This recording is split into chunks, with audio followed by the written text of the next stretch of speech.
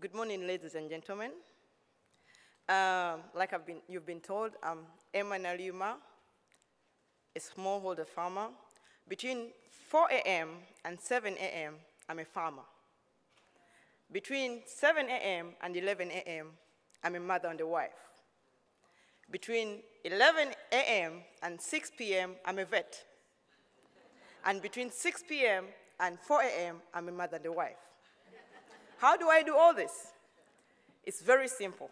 That's what I'm going to give you, and that's what I'm going to show you here today. But we are here to answer the million dollar question of can we feed 9 billion people by 2050? And I'll use President Obama's catchphrase yes, we can. we can. And how can we do that? I'm going to show you how we can do it by tackling household by household. Like Mother Teresa said, if you can't feed 100 people, feed only one. So if we can teach our farmers how to feed themselves, household by household, then we have fed the whole world. Um, is this the model to uplift the African smallholder? The answer is yes. And actually, this is an answer to almost all the questions we've been asking the whole of yesterday, the whole of today, dealing with gender. I'm a woman, so yeah, we can actually tackle that through gender. The youth, I'm a youth, so we can actually tackle the youth and give the answers to the youth through agriculture. Um, um, yesterday, I was attending a reception of the livestock sector, and one person asked, how come we are the side event? How come we are not part of the real event? Uh, livestock fellows, I'm here now, we are part of the real event. uh, also, questions about the developing world, I'm under the developing world, I'm a Ugandan, so we have answers to that. And all these answers are going through this small, this smallholder unit.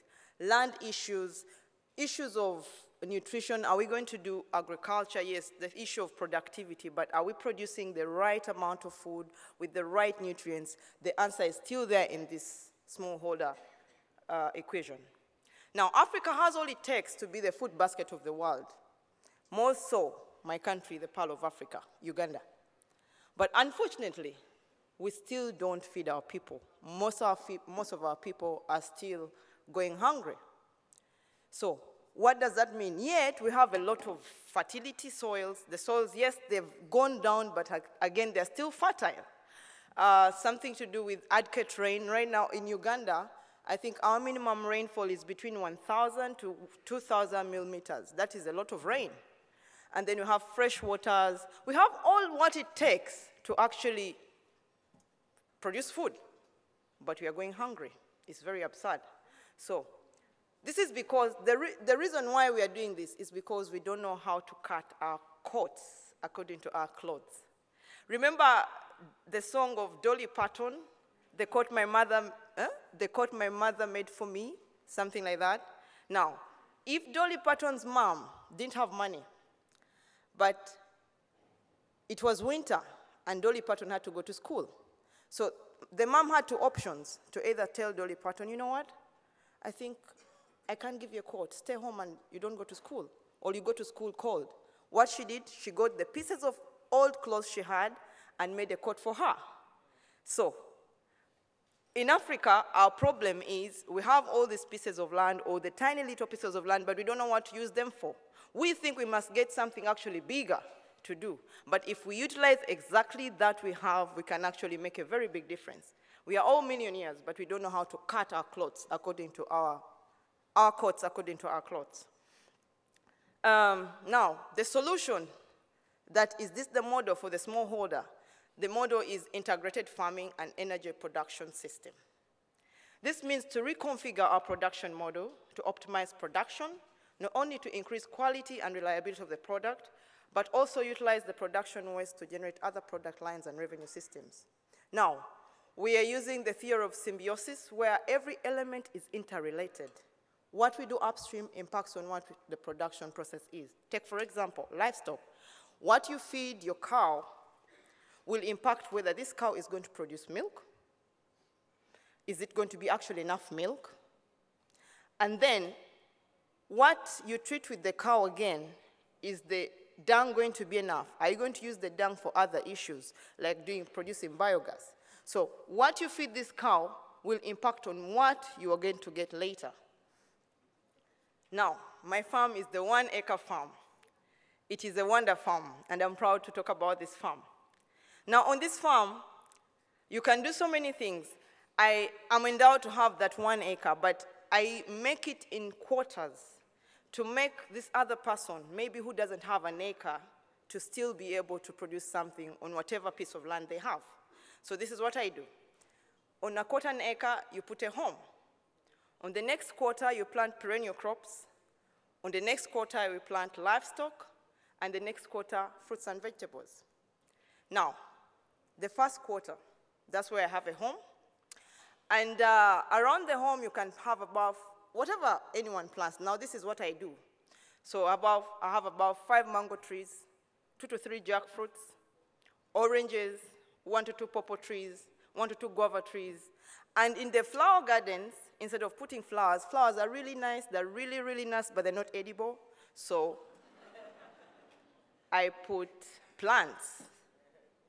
If I were a florist, I would use them, but I'm not. So I put plants that I'm going to eat. And this is a hearty meal for breakfast. Now, back home, the only time someone can have this is if she went to a hotel. But here, I have it almost every single day. That's what I have for breakfast, plus maybe a piece of cassava or a piece of bread or anything.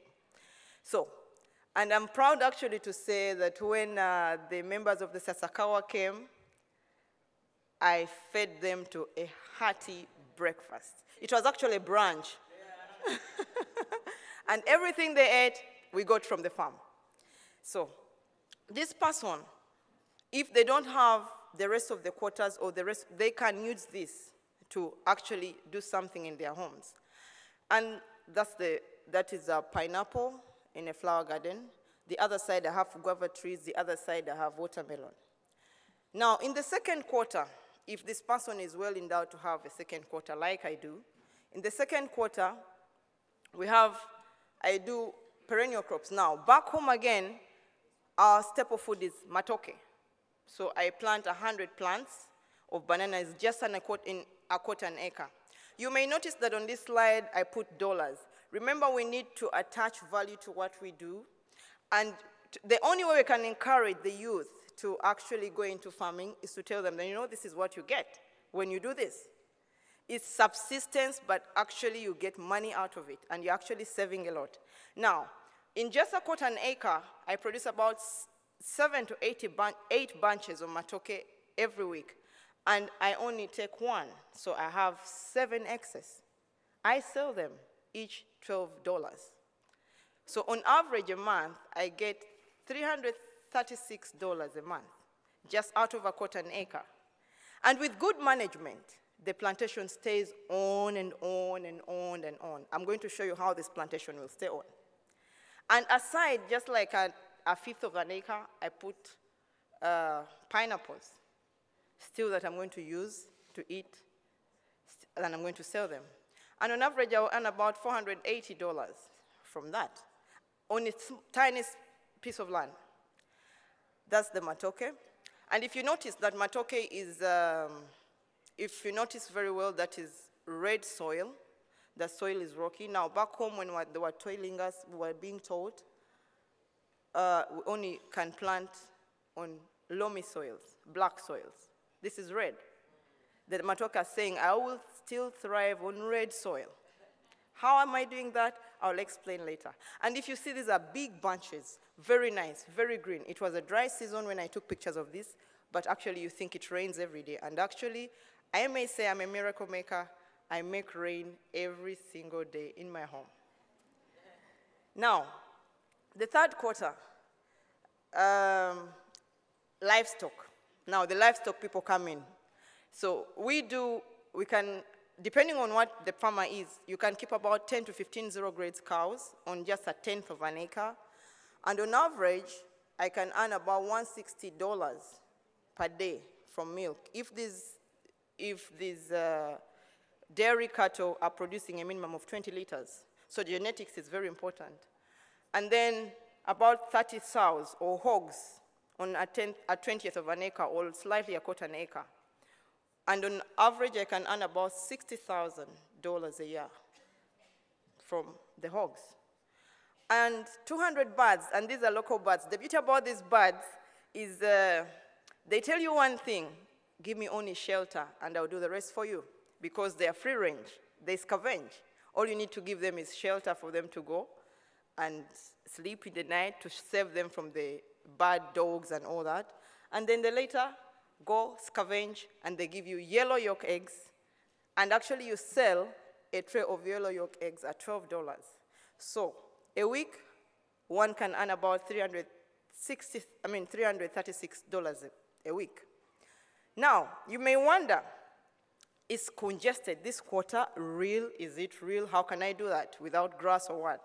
Now, we embrace technology, hydroponic fodder. Now, this is fodder that we use to feed animals, and we do that in six days only. We plant grass for animals for six days. There are no GMOs, but we use the conditions of germination. Like, actually, God created the world in six days. If God can create the world in six days, why not produce food for animal in six days? Okay? So, we use grain and legume, legume seeds are sprouted to produce highly nutritious, yes, cost-effective livestock feed. Now, an area of uh, about 162 square feet can produce an equivalent of 25 acres of traditional pasture. So this is where the issue of technology comes in. We must embrace technology. So the youth embrace technology. The only way you can tell this youth, you know what, you can do this, and ABC, we like smart farming, smartphones. So let's do smart farming.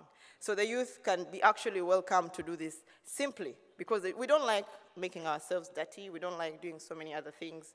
So it's easy to do it the smart way. So in addition, you have no tractors, heavy machinery, commercial fertilizers, all that. And you can comfortably have something good. Now that is the hydroponic fodder I was talking about.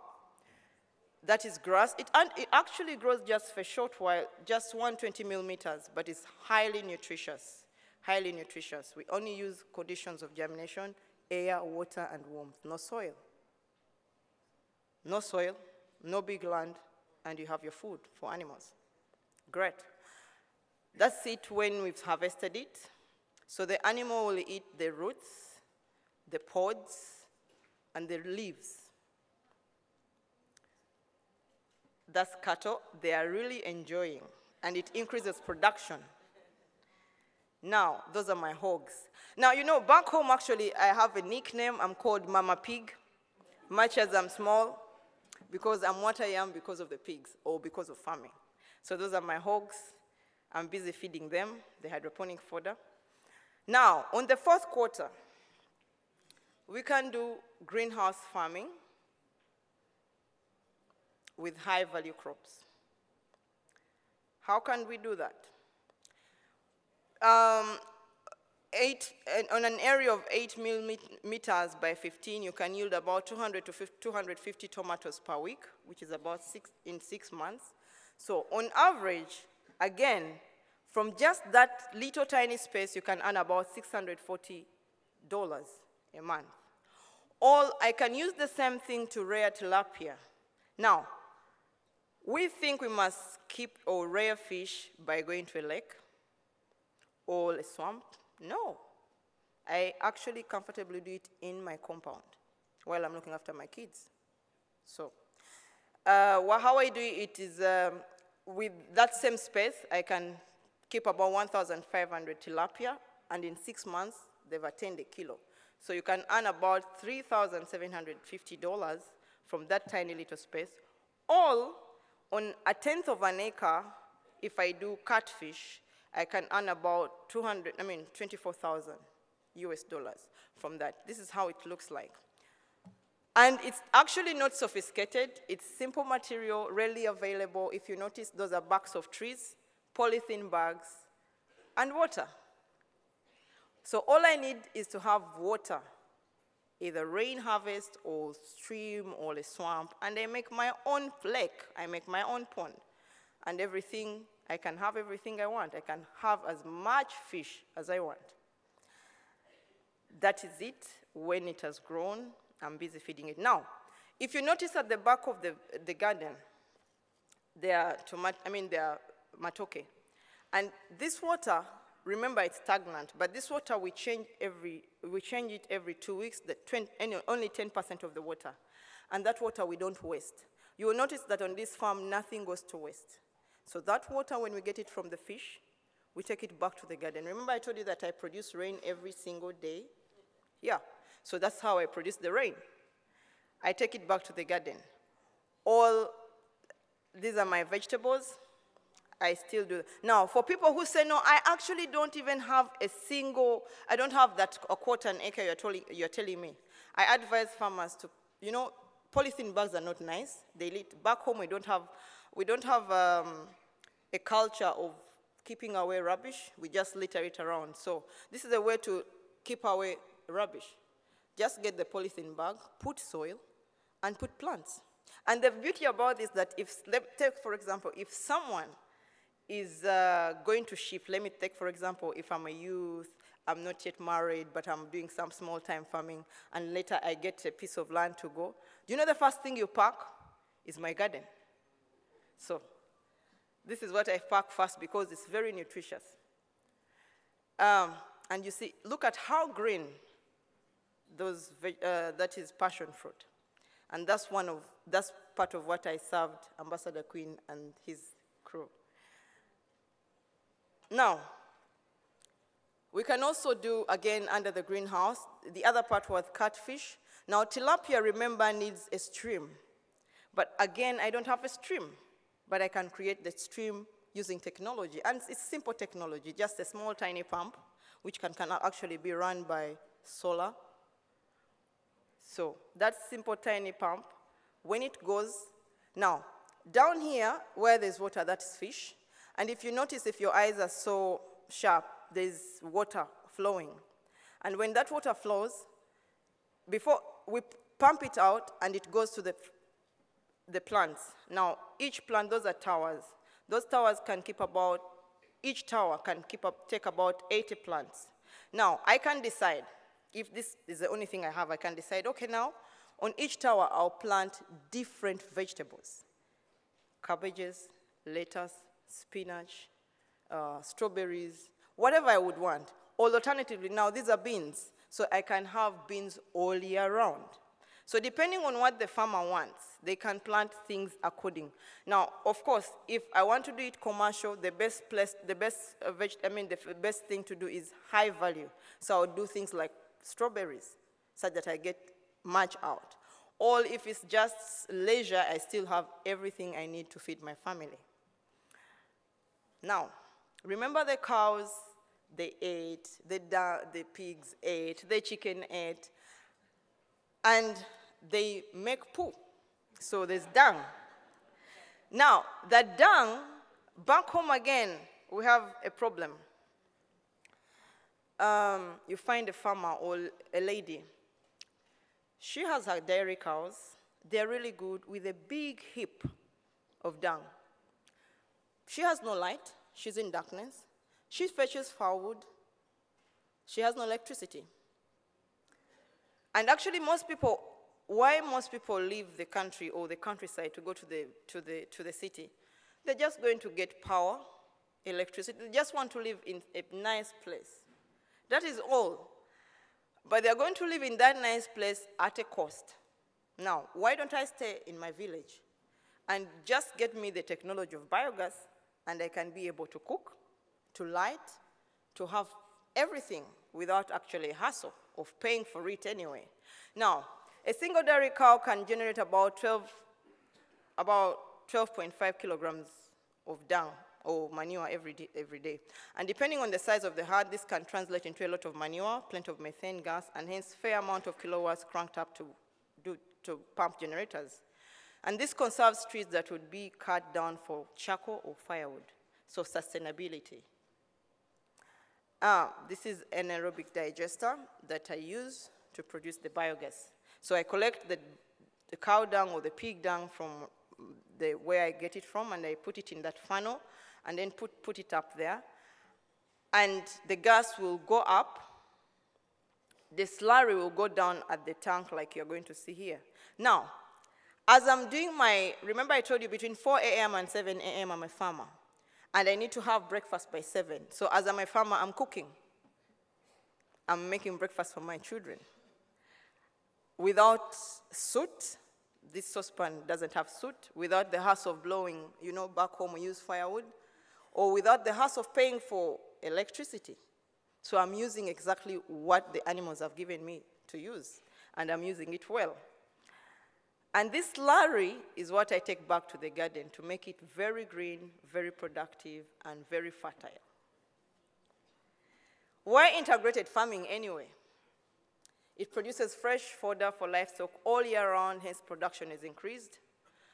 Produces biogas for power, cooking, and lighting. Excess power is used for sale to the national grid, depending on how big your, your, your, your farm is, and produces a natural-rich fertilizer. And actually, these crops are organically produced. So actually, if I was to sell, I'll sell them expensively. Now, this is a slide to show you, again, why we can do, or uh, why we are doing integrated farming. Because in between, take for example, if I have a cow, a calf, one day old, it is going to take me 24 months for me to actually get productivity out of, out of that cow. So what happens, as I wait for the 24 months for this cow to grow, I'm planting vegetables because I'm using the dung this calf is uh, making or pooing to be able to grow my, my, my whatever's, my vegetables. Same thing if it's cattle or if it's tomatoes. Now, look, uh, there's bananas, and then just, I'm showing you also the acreage that is just out of 100 pieces, and a quarter an acre, I can get 100 pieces. And uh, depending on how, whatever you're growing, you can have monthly production, daily production, weekly production, yearly production. So this farmer has income almost on a daily. Now, almost 50% of Ugandans live on less than a dollar. And these people living on less than a dollar are seated on whatever chunk of land they have, big or small, but they're living on less than a dollar. But they're actually sitting on gold. They just don't know. Okay? So if we can tell these farmers what to do, they actually will do it and it's going to reduce on the urban uh, migration. So we, all we need to do is to tell these farmers exactly what to do. Now, again, if you notice, when I was making my quotas of acres and whatever, they were showing, the first quarter was fruits and vegetables. What's that? Vitamins. The second quarter was perennial crops, that's maybe carbohydrates. The third quarter with livestock is full of proteins. So you see that this whole farm has different things, nutritious at that, and income generating. After the beauty of all this, why are we failing? We are failing because we have poor genetics, uh, our feeding programs are really bad because we actually don't know how to feed these cows or these animals or to feed the soils like we've been told. We just don't know. We have everything, but we don't know how to do that. So our management systems are poor. Uh, I call, back home I tell people they are telephone farmers because she stays in the city and starts calling, have you done this, have you done this, have you done ABCD? She's not on the ground, so our management systems are poor. But the worst is that we start farming at a very late stage. This is how we start farming at a very late stage. You find someone, we go to school, after vet school, then I go, I join, I work somewhere for maybe 25 years, then I retire at 50. Now, when I retire at 50, I'm really old, tired, I can't actually do anything. So I go back, but because I have nothing to do and I have a piece of land, I'll stay and work, but I'm frail. I even don't have the money because you know why? you didn't save your money. You were spending 60 to 70% of what you were earning on food in the city when you're buying it. So now you come back, you don't have money. And when because you don't have money, you can't do anything. Then you go back to become poor. It's really sad. One time you are very rich, you could buy everything, and then you retire, you have nothing. Yet if you start early, there's a Catholic saying, give a child, give me a kid before he's 10 years and he will die a Catholic. now, the solution, engage African children in farming at an early age and teach their old parents who never went to school new technologies that will maximize yield despite the small pieces of land or climate change issues. I learned most of the things I do at seven years with my grandmother, the power of a grandmother. So I learned most of those things at seven, and I was well endowed to have a grandmother, and I was well endowed to have a good primary school. This is why my beloved husband and I are putting up a primary school to teach children lifetime skills, especially in agriculture. Because if we do this, then we are actually going to change the world. Now, these are my lovely children. They are twins. Oh, I'm a mother of two. So they are twins. Back home, it's actually very important to be a mother of two girls or twins. So these are my children. And it's very interesting. When I took this picture, I'm showing you how it is uh, when you start someone at any early age. So each time we go to the farm, they put on boots. So when they're like, Mommy, you're going to the farm, they put on their boots. And when we entered the weaner's house, they said, Oh, you know the weaners, are, the, in the hogs, the weaners are supposed to feed ad lib. So they're like, Mommy, the food is finished. The pigs don't have food. And they picked those, uh, that bucket and went to feed. I was so surprised and shocked. I'm like, okay, you see they're feeding. And they're actually not scared. So if these kids grow up like this, definitely, definitely they will do something very, very good. Now, this is the primary school I'm building. And while I took this picture is to show you the mango trees, I do, and at the back. Now, if we need partners, I can't do this alone. If we can do this together, teach the young children. And actually, I could name this the Borlaug Farm School.